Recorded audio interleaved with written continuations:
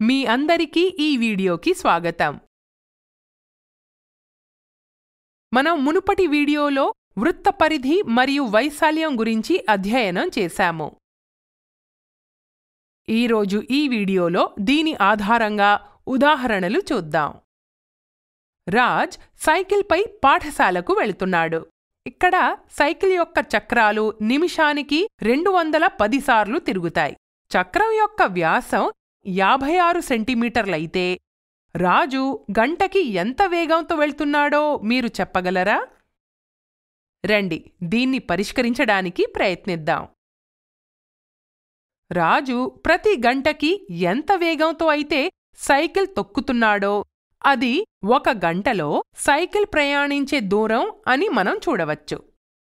కాబట్టి ఒక చుట్టులో ఒక చక్రం ద్వారా ప్రయాణించిన దూరం దీని పరిధికి సమానమవుతుందని మనం చూడవచ్చు.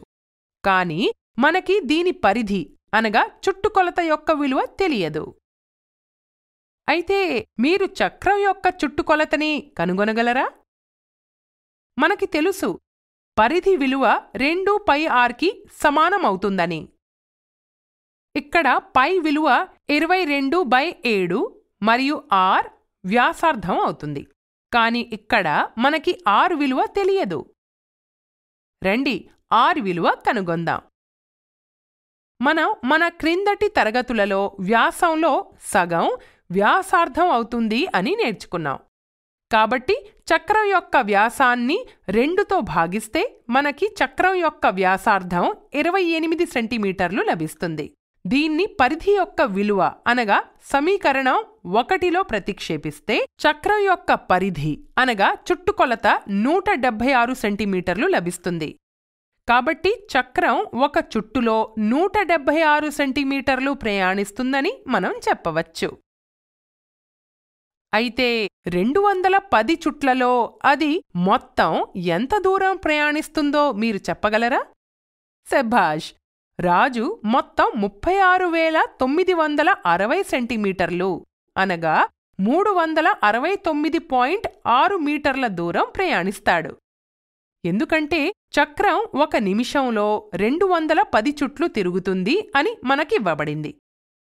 కాబట్టి చక్రం ఒక నిమిషంలో ప్రయాణించిన దూరం రెండు వందల పది చుట్లు తిరిగి ప్రయాణించిన దూరానికి సమానమవుతుంది. ఇప్పుడు మీరు రాజు గంటకి ఎంత వేగంతో వెళ్తున్నాడో కనుగొనగలరా? సరిగ్గా చెప్పారు. దీని వేగం కిలోమీటర్లు ఒక గంటకు చెప్తారు. ఎందుకంటే మనం వేగం ప్రతి గంటకి ఎంతో కనుగొనాలి కాబట్టి అరవైతో గుణిస్తాము. దీన్ని సాధిస్తే మనకి ఇరవై రెండు పాయింట్ ఒకటి ఏడు ఆరు కిలోమీటర్లు లభిస్తుంది.